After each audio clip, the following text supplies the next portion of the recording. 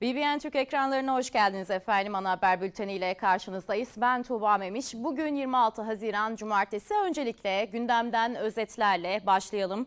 Türkiye'nin dev projesi Kanal İstanbul'un inşaatı bugün başladı. Sazlıdere Köprüsü'nün temeli törenle atıldı. Cumhurbaşkanı Recep Tayyip Erdoğan da o törendeydi. Burada açıklamaları var. Başkan Erdoğan'ın ekranlarınıza getireceğiz birazdan.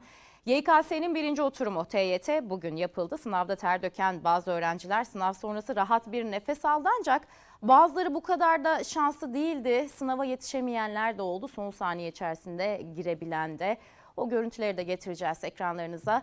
Bingöl'ün Kığ ilçesinde 5,2 büyüklüğünde depremin ardından bilanço gün ağarınca ortaya çıktı ve tüm dünyanın merakla izlediği VLP teknolojisindeki yerli aşı çalışmalarında ikinci faza geçildi. Birinci fazla güvenilirliği ispatlanan aşı için ikinci faz aşamasında gönüllüler aşılarını oldu diyelim ve gelin detaylara bakalım.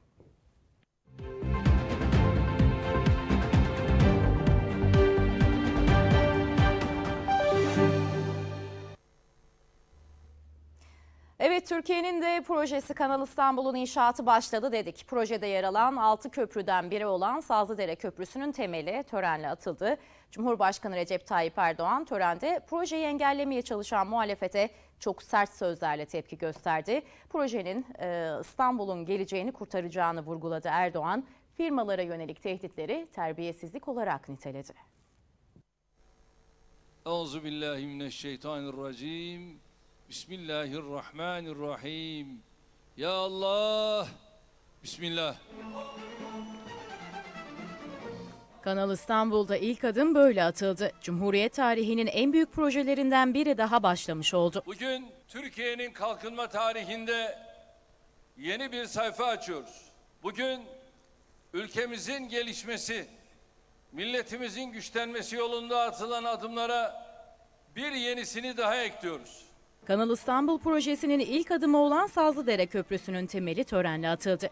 Cumhurbaşkanı Recep Tayyip Erdoğan, Meclis Başkanı Mustafa Şentop, bakanlar ve milletvekilleri törende buluştu. Görüldüğü gibi bu pek çok faydayı aynı anda sağlayacak bereketli bir projedir. Cumhurbaşkanı Erdoğan konuşmasında Boğaz'da Montreux sonrası yaşanan kazaları ve atlatılan tehlikeleri hatırlattı. Müsilaj sorununa işaret etti. Dünyanın en çevreci projelerinden birini başlattıklarını söyledi. Projeyle hem Marmara Denizi'ndeki kirliliğin önleneceğini hem de İstanbul'un geleceğinin kurtarılacağını vurguladı. Esasen biz Kanal İstanbul'a İstanbul'un geleceğini kurtarma projesi olarak bakıyoruz. Kanal İstanbul projesiyle amacımız her şeyden önce İstanbul Boğazı ve çevresindeki vatandaşlarımızın can ve mal güvenliğini sağlamaktır. Projenin kendi kendini finanse edeceğini vurguladı Erdoğan. Kanal İstanbul'u yaklaşık 15 milyar dolarlık bir maliyetle 6 yıl içinde tamamlamayı hedefliyoruz. Kanal İstanbul kendi kendini rahatlıkla finanse edecektir. Böylece Türkiye devletin ve milletin kasasından, kesesinden 5 kuruş çıkmadan kendi gelirleriyle finanse edilerek dünya çapında bir esere daha kavuşacaktır. Türkiye'ye sağlayacağı katkılar proje maliyetiyle kıyaslanamayacak kadar yüksek olan Kanal İstanbul ülkemizin en önemli değerlerinden biri olarak tarihteki yerini alacaktır. Erdoğan dünyanın en önemli projelerinden biri olduğunu söyledi. Projeye engel olmaya çalışanlara seslendi. Her ne kadar birileri bize sorulmadı diye sızlanıyorsa da projenin her aşaması hukuka ve bilime uygun şekilde yürütüldü ve tamamlandı. Unutmayın, kime sorulması gerekiyorsa onlara sorulmuş ve yola böyle çıkılmıştır. Yavuz Sultan Selim Köprüsü'nün yaptık.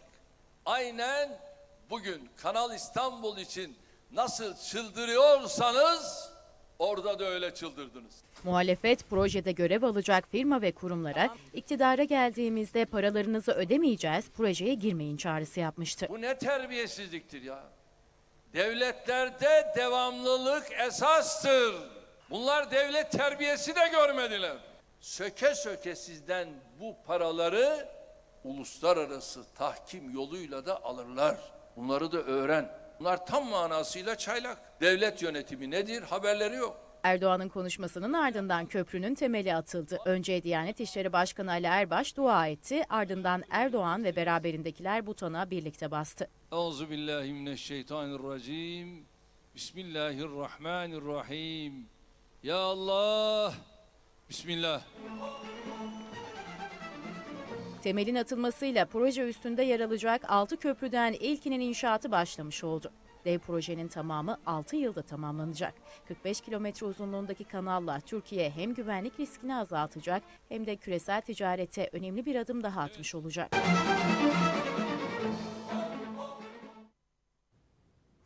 Evet Kanal İstanbul'un ilk temeli atıldı dedik ve bu sırada güncel koronavirüs tablosu geldi. Açıklanan tabloya bir bakalım. Bugün yapılan test sayısı 222.561, vaka sayısı 5266, hasta sayısı 470, vefat sayısı 51 ve iyileşen sayısı 7402 şeklinde ve bütüne bakalım toplamda bugüne kadar yapılan test sayısı 59 milyon 890 bin 147, vaka sayısı 5 milyon 404 bin 144, vefat sayısı 49 bin 524, ağır hasta sayısı 733 ve bugüne kadar iyileşen sayısı 5 milyon 269 bin 294 şeklinde veriler bu şekilde diyelim ve haberlerimizle devam edelim. Yükseköğretim Kurumları sınavının birinci oturumu olan temel yeterlilik testi tamamlandı. Sınav süresi boyunca adaylar içeride ter döktü, velilerse dışarıda. Sınav sonunda soruları zor bulanlar da vardı, kolay bulanlar da. Yani tabii ki stres var ama yani hayırlısını diliyorum. İnşallah güzel sonuçlar alırım. İlk benim kızım sınav, üniversite sınavına giriyor. Yani ben ilk heyecanım olduğu için yani gözlerim doldu onu gö- gönderirken. YKS maratonu bugün başladı. Tüm yurtta binlerce aday hayallerini gerçekleştirmek için ilk adımı attı. Hedefim genetik mühendisliği inşallah. Üniversite hedefim var. Babadan gelme olduğu için sanat, kültür sanatı seçmek istiyorum bakalım. Uzun süredir emek verdi çocuklar, eee, çalıştılar. Bugün de inşallah bu emeklerin karşılığını alacaklar. Biz de veli olarak onları her bakımdan destekliyoruz. 2,5 milyondan fazla adayın heyecanla beklediği üniversite sınavının ilk oturumu bugün gerçekleşti. 120 soruluk temel yeterlilik testinde adaylara 135 dakika süre verildi. Heyecan olmamalarını söyledim. Elinden geleni yapacaklar. Olmasa seneye bir daha nasip olursa. Çocuklar çok stresli tabii ki. İnşallah herkes emeğinin karşılığını alır istedikleri bölümlere yerleşirler. Adaylar aileleriyle vedalaştı, ardından sırayla sınav merkezlerine girdi. Pandemi kurallarına uygun şekilde içeri alındılar. Adaylar içeride sorularla ter dökerken dışarıda yüzlerce veli heyecanla çocuklarını bekledi. Heyecanlı mıydı peki? Yok çok sakindi. Sakindi ama son anda ne olduğunu bilmiyorum. Kimi veli de sınav süresi boyunca çocukları için dua etti. Sınav sonunda adaylar sınav merkezlerinden çıkarken aileler de çocuklarını karşıladı. Soruları zor bulanlar da vardı, kolay bulanlar da. Bana göre TYT sınavı beklediğimden kolay geldi biraz ama çelişkili sorular vardı tabii. Yapabildiğimi yaptım. Sağlık olsun yani. Paragraf biraz zorladı. Matematiği bu kadar beklemiyordum. Biraz zorladı orada. Bu sınav da aynı şekilde zor oldu çünkü konular yetişmedi bilmem ne. Ama yine de elinden geldiği kadar çabaladık. Eğer normal bir zamanda yapılmış bir sınav olsaydı yani pandemi zamanında denk gelmeseydi kolay bir sınavdı büyük ihtimal. Üç oturumdan oluşan Yükseköğretim Kurumları sınavının ikinci ve üçüncü oturumu yarın gerçekleşecek. İlk oturum 10.15'te, ikinci oturumsa 15.45'te başlayacak.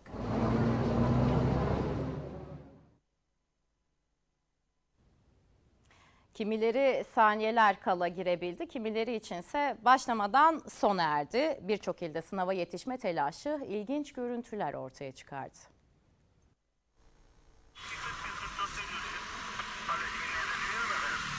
Sınava yetişebilmek için zamanla yarıştılar. Kimi sınava son saniyede yetişti, geç kalanlar içinse YKS heyecanı başlamadan bitti. belge çıkartacaksın. Ancak bu şekilde belgeyle yarın sınava girebilirsin. Sınav salonlarının kapıları sınavdan 15 dakika önce kapandı. Geç kalanlar içeri girebilmek için uğraştı ama başarılı olamadı.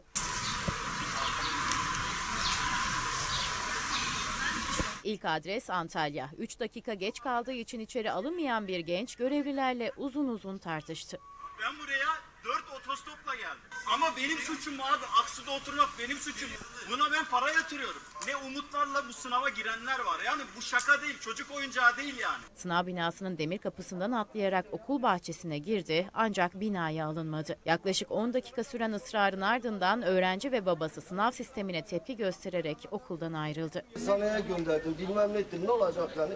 Zaten sıkıntılı bir zamanda yaşıyoruz. Abi ya. Bitlis'te bir öğrenci navigasyonun azizliğine uğradı. Sınav binasına geç kalan genç kız ne yaptıysa içeri giremedi. Hayırlısı olsun diyelim. Nasip böyle. Hayırlısı bu hayırlısı değil Yani işte. keşke daha erken Bu nasip değil bu hayırlısı değil ya. Trafik polisleri adaylar için mesai yaptı. Sakarya'da araçları bozulduğu için geç kalan adaylar polis sayesinde sınava yetişti. Polis memuru o anları bir spiker gibi anlattı. Ne kadar getirdik. Arkadaşlara başarılar diliyoruz. Hepinize Allah zihin açıklığı versin. Adana'da ise geçen yıl sınava giderken kaza geçirip polisten yardım isteyen görme engelli genç bu yıl işini şansa bırakmadı. Polisler daha uygun olacağını düşündüm. E, Sınavdan bir hafta önce aradım kendilerine, randevu aldık. Evime geldiler sağ olsunlar. Sınav günü tarihini e, not aldılar, götüreceklerini söylediler. Bugün sabah geldiler sağ olsunlar. Mersin'de bir başka engelli gencin yardımına ise vatandaşlar koştu. Sınava geç kalmak üzere olan engelli genci kucaklayan dört vatandaş koşarak sınava gireceği binaya getirdi.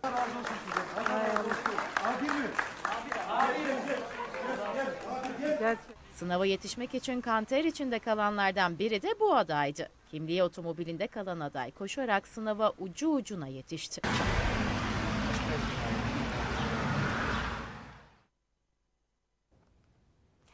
Dün gece Bingöl'ün Kia ilçesinde 5,2 büyüklüğünde deprem meydana geldi. Deprem bölgedeki birçok ilde hissedildi. Bölge halkının büyük çoğunluğu geceyi dışarıda geçirdi. Depremin verdiği hasar gün ağarınca ortaya çıktı.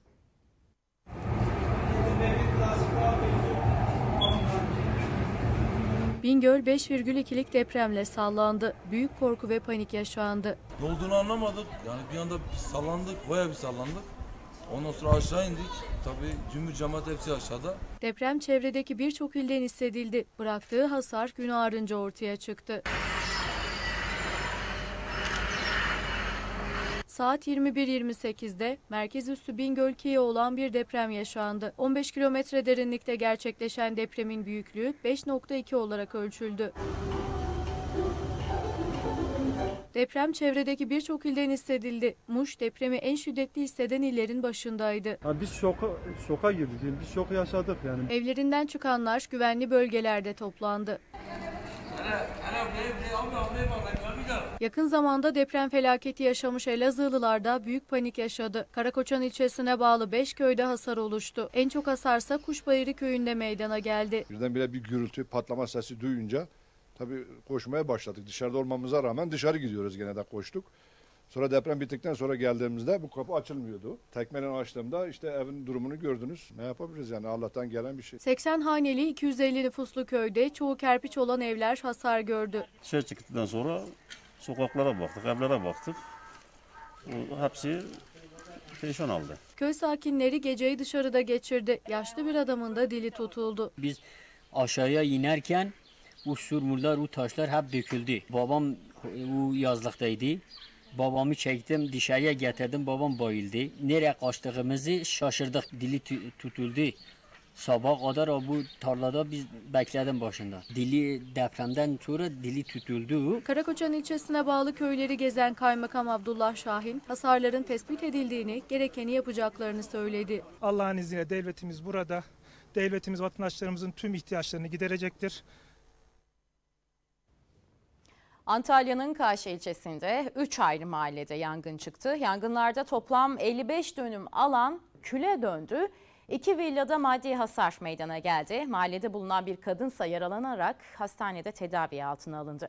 Boğaz mevkiine sıçrayan yangını havadan ve karadan söndürme çalışması devam ediyor. Yangın öğle saatlerinde e, İslamlar Mahallesi'nde bulunan iki villanın önünde çıktı. Ormanlık alanda çıkan yangın aşırı sıcak hava ve kuzeyli rüzgarlarının etkisiyle kısa sürede büyüdü. Yangın daha sonra İslamlar Mahallesi'nin hemen yakınında bulunan Çerçiler Mahallesi'ne sıçradı. Her iki mahalledeki yangına 5 helikopter, 25 arazöz, 10 su tankeri, 4 dozer, çok sayıda itfaiye ekibi müdahale etti. Ekiplerin söndürme çalışmaları sürdüğü esnada bu kez Üzümlü Mahallesi'nde yangın çıktı. Yangınların büyük ölçüde kontrol altına alındığı öğrenildi. Öte yandan Boğaz mevkiine sıçrayan yangına havadan ve karadan müdahalenin devam ettiği öğrenildi. Yangın dolayısıyla Üzümlü Mahallesi'nde bulunan iki villada maddi hasar meydana geldi. Bir su tankerinin lastikleri yandı. Çerçiler Mahallesi'nde ilk yapılan tespite göre 55 dönüm orman alanı küle döndü. Yangına müdahale etmeye çalışan bir kadınsa yaralanarak hastanede tedavi altına alındı.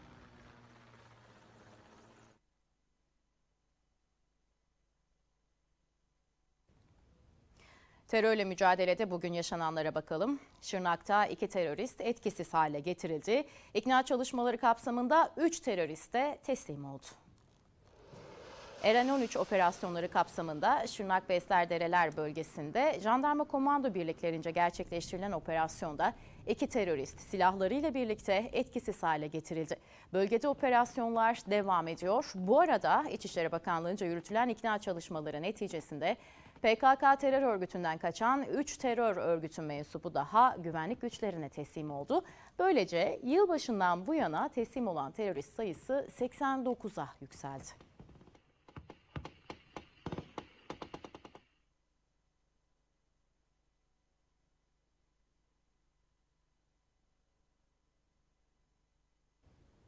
Afrin'de bombalı araçla düzenlenen terör saldırısında aralarında bir çocuğun bulunduğu 3 sivil yaşamını yitirdi, 3 sivil yaralandı.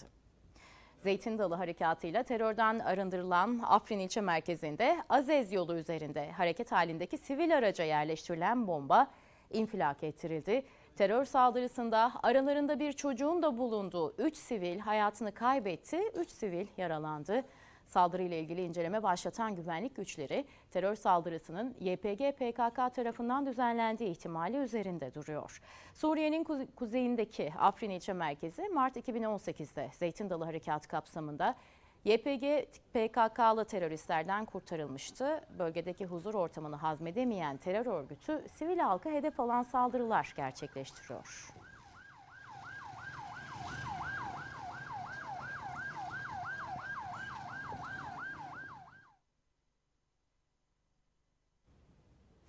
Kritik FETÖ davasında karar çıktı. Hain darbe girişiminin baş aktörlerinden Adil Öksüz'ü kaçıranlara ceza yağdı. Dava dosyasında bir kişi halen firari. Terörist Cihat Yıldız'ın aranmasına devam edilecek. Mahkeme diğer 4 sanığı ise toplam 59 yıl 6 ay cezaya çarptırdı.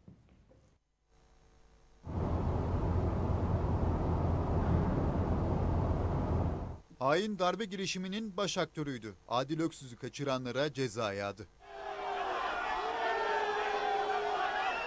Biri firari, dördü tutuklu, beş sanığın yargılandığı davada karar açıklandı. Dört sanığa toplam 59 yıl 6 ay hapis cezası verildi.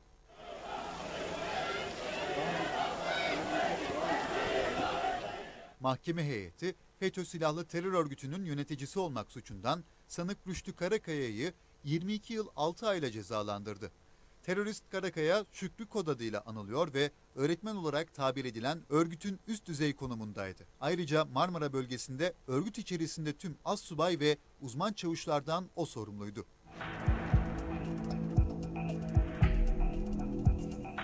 Örgütün hava kuvvetleri yapılanmasında yer alan Zafer Çay da cezaya çarptırılanlar arasında. Hakim Çay'ı 18 yıl 6 ay hapis cezasına mahkum etti. Yine aynı birimde bulunan Alper Karabulut da 12 yıl 6 ay hapis cezasına çarptırıldı.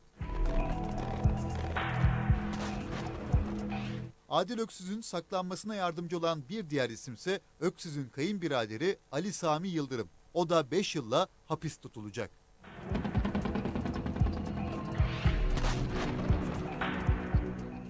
Mahkeme heyeti hakkında yakalama kararı bulunan ve henüz savunması alınmayan Cihat Yıldız hakkındaki kararını değiştirmedi. Araması devam edecek ve dosyası ayrı incelenecek.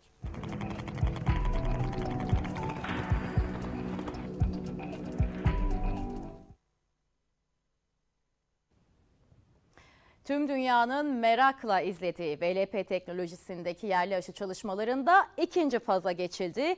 Birinci fazda güvenilirliği ispatlanan aşı için ikinci faz aşamasında gönüllüler aşılarını oldu.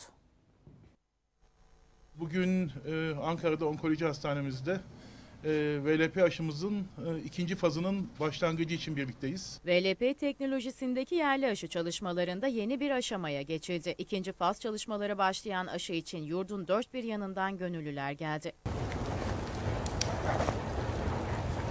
Yerli aşıda çalışmalar hız kesmeden devam ediyor. Kayseri Erciyes Üniversitesi'nin geliştirdiği yerli aşının faz 3 çalışmalarına başlanmasının ardından VLP tabanlı aşıda da ikinci faza geçildi. Bugün de ilk gönüllülerimiz e, aşılanma sürecine başladılar. İzmir'den, Burdur'dan, e, e, Aydın'dan, Ankara'dan tabii ki doğal olarak gelen arkadaşlarımız var, gönüllülerimiz var. Virüsü taklit eden VLP aşısı biyoteknolojik aşıların en yenilerinden.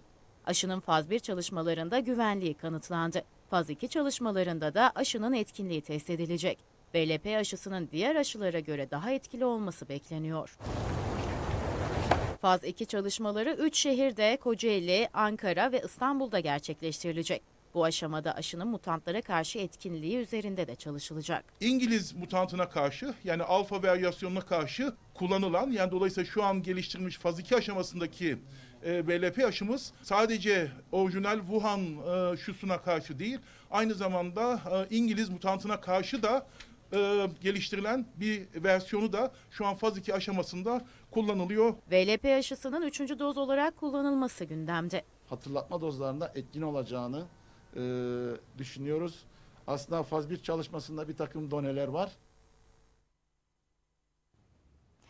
Konya'da Konya'da kuraklık son zamanlarda iyice kendini hissettirdi. Barajlardaki su seviyesi yarı yarıya indi. Hal böyle olunca su yatırımlarının önemi daha da arttı. Bu noktada Konya'da metro projesine mi yoksa su sorununun çözümüne mi yoğunlaşması gerektiği sorusu akıllara geldi. Peki Konyalı bu konuda ne düşünüyor? İşte cevabı.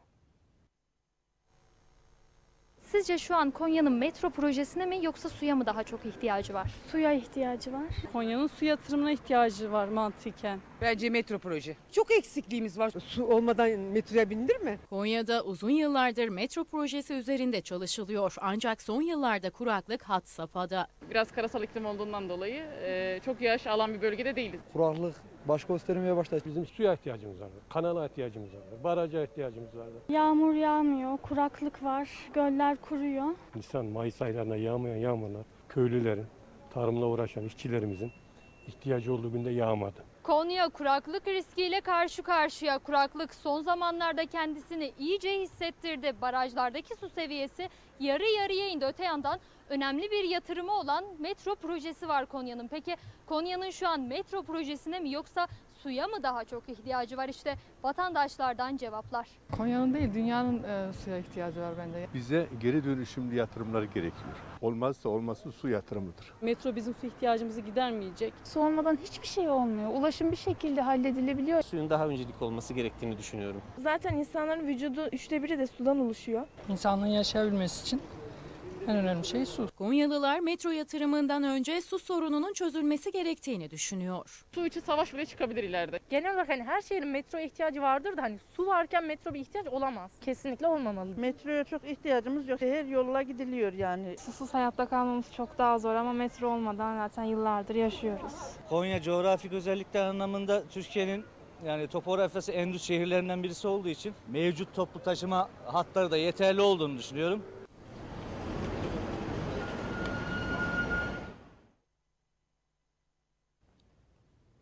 Gübre fiyatları çiftçinin korkulu rüyası oldu. Peki bu artışın sebebi sadece üretici mi? Maliyeti düşürmek için neler yapmalı? Detaylar haberimizde.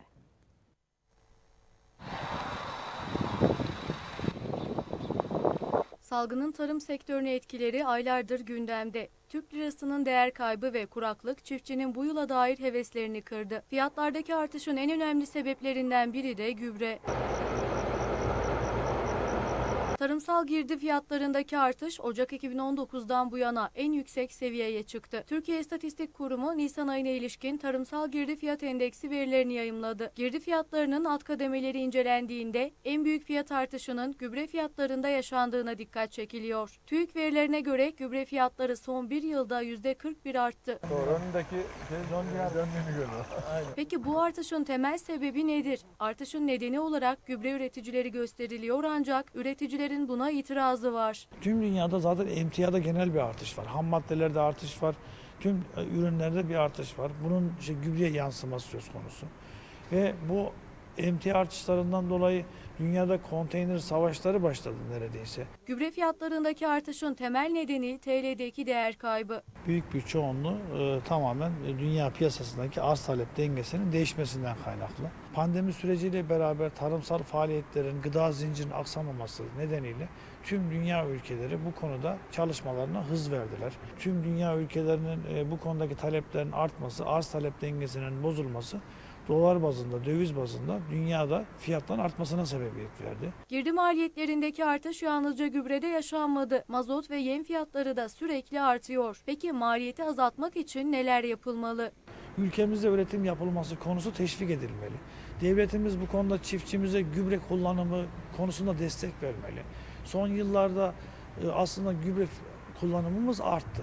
Bilinçli ve doğru gübre kullanımını teşvik etmemiz gerekiyor. Yeni teknoloji ürünlerin kullanılması, yeni teknoloji gübrelerin e, kullanılması konusunda e, teşvikler oluşması gerekiyor. Gübre Üreticileri, İthalatçıları ve İhracatçıları Derneği Yönetim Kurulu Başkanı Metin Güneş, ilerleyen dönemde bir gıda enflasyonu oluşabileceği uyarısında bulundu. Bunun e, bu şekilde devam etmesi gıda fiyatlarına da yansıması söz konusu. Yani yarın sebze ve meyve fiyatlarında da bir artış söz konusu olabilir.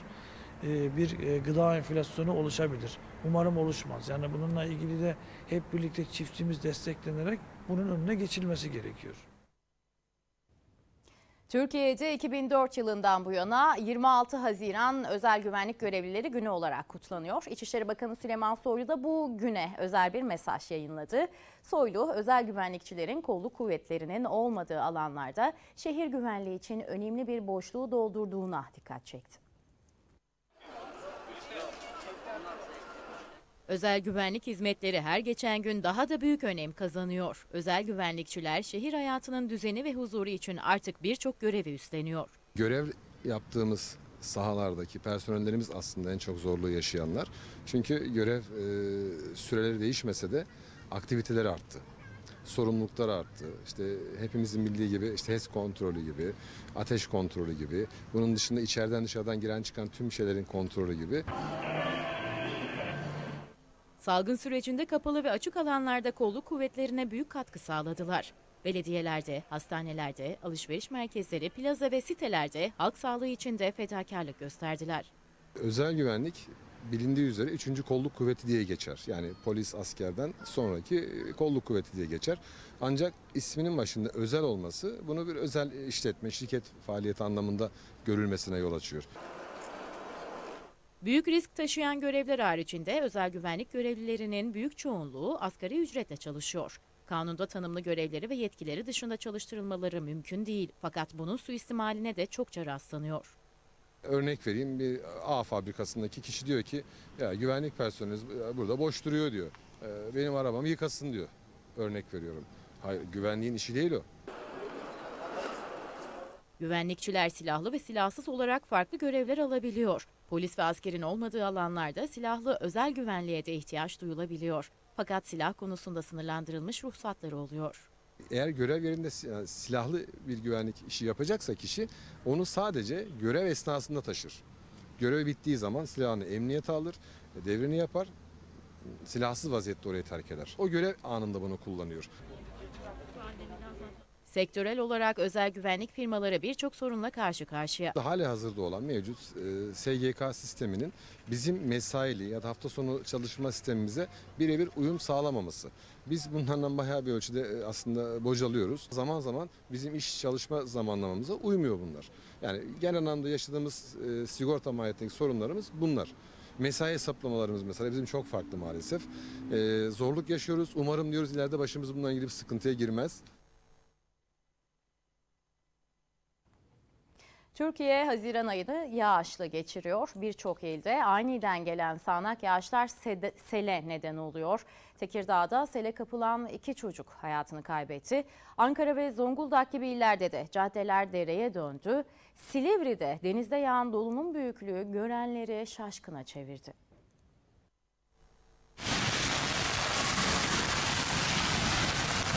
Birçok ilde yaz yağmurları seli beraberinde getirdi. Tekirdağ'da iki çocuk hayatını kaybetti. Yol boyunda ço- çocuğu bulabildik ama perişan halde bulduk. Tekirdağ'ın Ergine ilçesinde etkili olan yağış sele neden oldu. Dere kenarında oynayan 3 çocuk sele kapıldı. Küçük çocuk suya kapılınca abisi peşinden attı tahminimce buradan kapılarak ilk çocuğu da bir vatandaş kurtarmış. Diğer ikisini suyun altında çıkarttık. Su tahliye borusunda 200 metre sürüklenen çocuklar dere yatağında bulundu.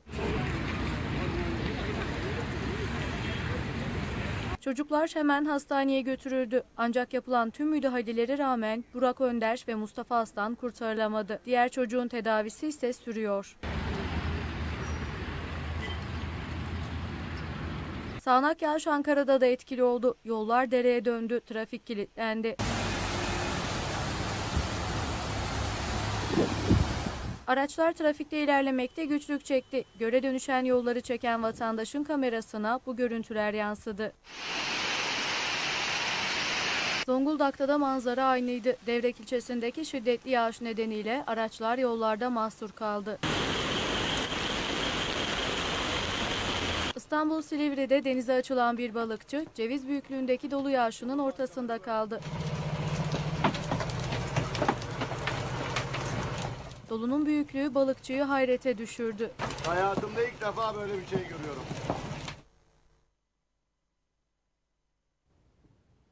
İzmir'de aniden başlayan fırtına ağaçlar ve direkleri devirdi. Plajlarda bulunanlar büyük korku yaşadı. İzmir'de bir anda başlayan fırtına herkesi hazırlıksız yakaladı. Özellikle kuzey ilçeleri olan Ali Ağa, Dikili ve Bergama'da etkili olan fırtına hayatı kısa sürede felç etti. O sırada plajda bulunan vatandaşlar ortalığı tozu dumana katan fırtına nedeniyle panik yaşadı. Apar topar eşyalarını toplayarak güvenli bir yere geçtiler. Trafikte bulunan sürücüler de yağmurla birlikte etkili olan şiddetli rüzgar nedeniyle zor anlar yaşadı. Bazı ağaç ve direkler de fırtınanın etkisiyle devrildi.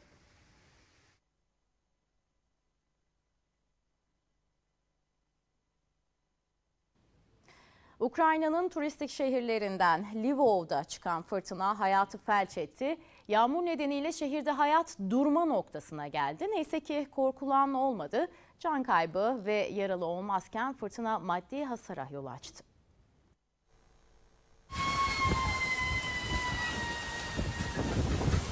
Aniden çıkan fırtına her şeyi darmadağın etti. Hayat durma noktasına geldi. Görüntülerin adresi Ukrayna. Ülkenin batı kıyısında bulunan Lvov'da sağanak yağışın ardından fırtına etkisini gösterdi. Hayat tam anlamıyla felç oldu. Şehirdeki altyapı yetersizliği nedeniyle cadde ve sokaklar göle döndü. Kafe, restoran ve birçok yerleşim yerinde elektrikler kesildi. Şemsiyeler sağa sola sallandı. Tatilciler ayakta durmakta zorlandı.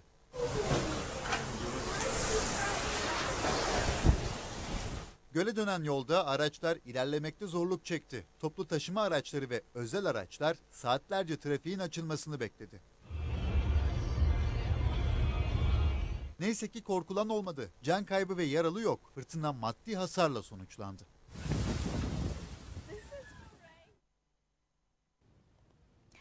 Almanya'nın Würzburg kentinde bıçaklı saldırı düzenlendi. Bir şahıs önüne gelene bıçakla saldırdı.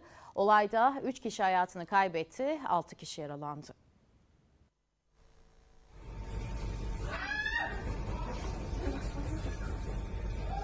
Bir şahıs kentin en kalabalık meydanına indi. Eline aldığı bıçakla ortalığı kana buladı.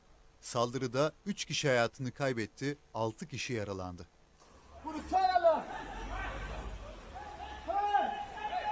Görüntüler Almanya'nın Würzburg kentinden.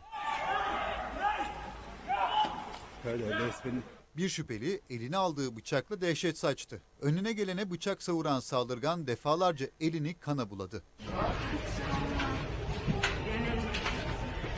Durum hemen ekiplere bildirildi. Olay yerine çok sayıda polis ve sağlık personeli sevk edildi. Olay yerine gelen polis saldırgana müdahale etmek istedi. Şüpheli polisin üzerine de yürüdü. Çevredekilerse saldırgana ellerine geçen her şeyi attı.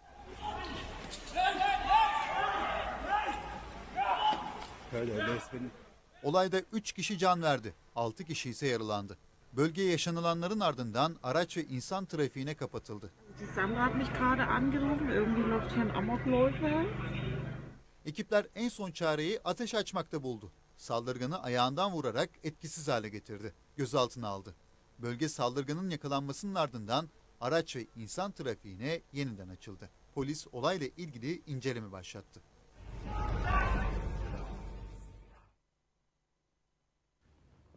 Şimdi kısa bir ara verelim. Ana haber bültenimiz birazdan devam edecek.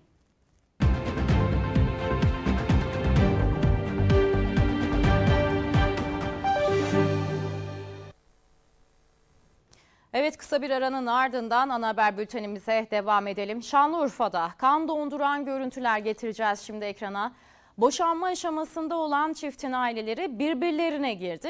O esnada aracıyla 5 kişinin arasına dalan adam herkesi ezmeye çalıştı. Ortalık savaş alanına döndü.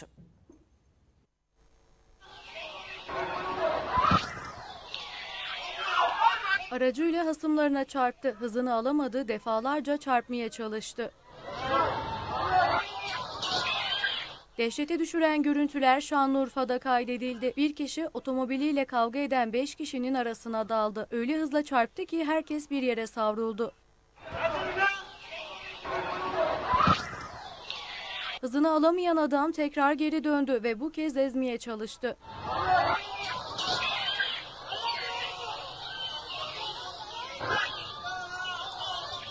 Nefreti öyle büyüktü ki önüne kim çıktıysa aracını üzerine sürdü. O sırada kavga devam ediyordu. Araç tekrar döndü ve bu kez yaşlı kadını sıkıştırdı. Kadın yere yığıldı.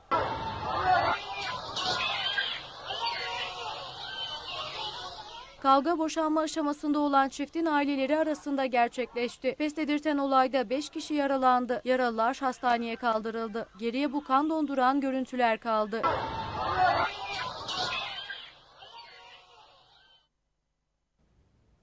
Beykoz'da iki şüpheli büfede oturan engellileri feci şekilde darp etti. O anlar güvenlik kameralarına yansıdı. İşte yürek sızlatan o görüntüler.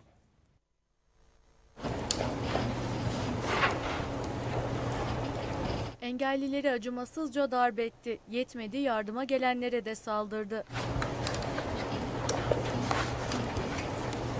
İstanbul'da iki şüpheli Beykoz Engelliler Derneği'nin lokal olarak kullanıldığı büfeye geldi. Dernek Başkanı Hasan Polat ve arkadaşlarına sopa, yumruk ve tekmeyle saldırdı.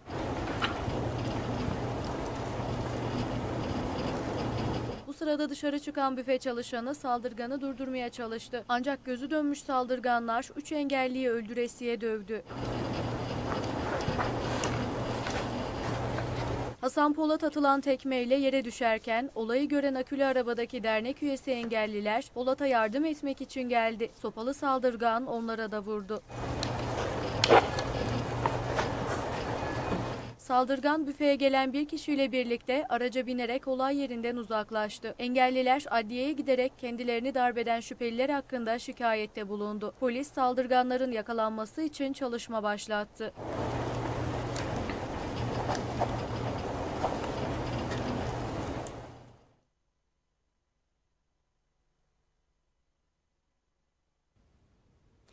İHA muhabiri Mustafa Uslu'yu darbeden saldırganların ifadeleri ortaya çıktı.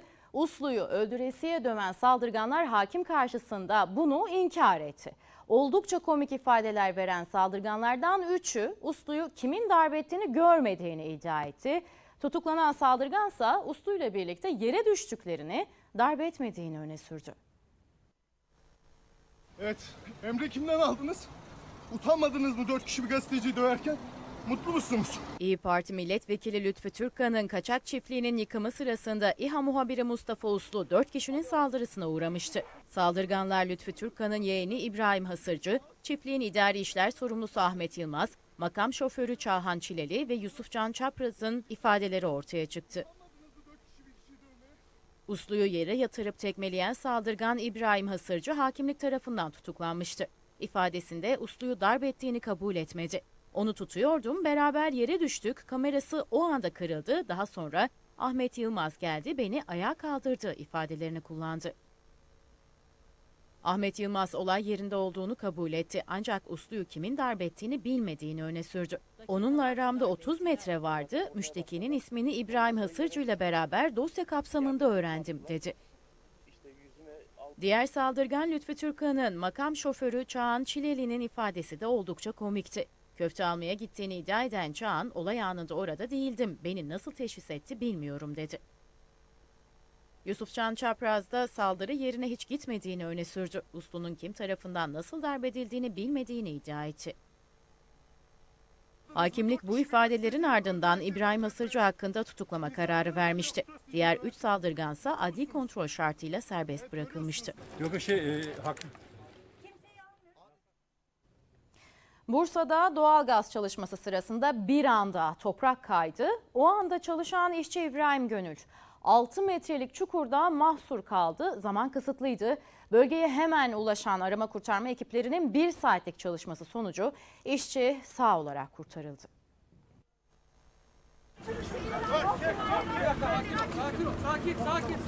Doğalgaz çalışması sırasında göçük oluştu. Bir işçi göçük altında kaldı. Bir saat süren kurtarma operasyonuyla kurtarıldı.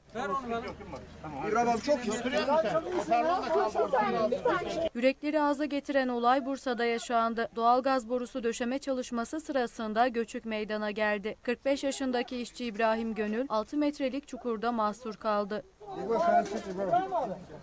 Oradan bir iki kişi çeksin. İş arkadaşları durumu hemen kurtarma ekiplerine bildirdi. Çok geçmeden ekip bölgeye ulaştı. Adeta zamanla yarışıldı. Tamam, tamam. Tamam, ver abi Ver abi. Bir saatlik operasyon sonunda işçi halatla makara sistemine bağlanarak dikkatlice göçükten çıkarıldı. Güvenli bölge. Sakin, sakin, sakin. Sakin. Sağlık ekibinin ilk müdahalesinin ardından hastaneye kaldırılan işçinin durumu iyi.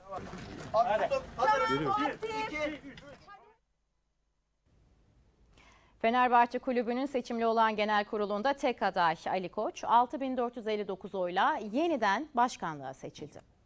29.009 üyenin oy kullanma hakkına sahip olduğu Fenerbahçe Kulübü'nde 6682 kongre üyesi sandık başına geldi. 6459 oy alan Ali Koç yeniden Fenerbahçe Kulübü başkanlığına seçildi. Fenerbahçe Kulübü olağan seçimli genel kurulunun divan başkanlığı görevinde bulunan YDK Başkanı Vefa Küçük, 38 sandığımız var. Oylar bizim önümüzde. En az 3-4 kere de sağlanması, sağlamasını yaptık. 6459 oyla e, Ali Koç yeniden başkan seçildi dedi. Oyların 6459'unu alarak yeniden başkan seçilen Ali Koç 3 yıl daha bu görevi üstlenecek.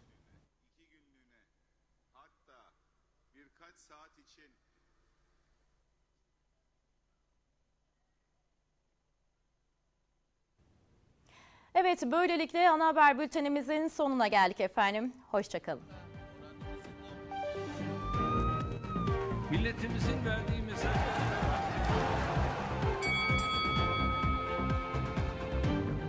Artı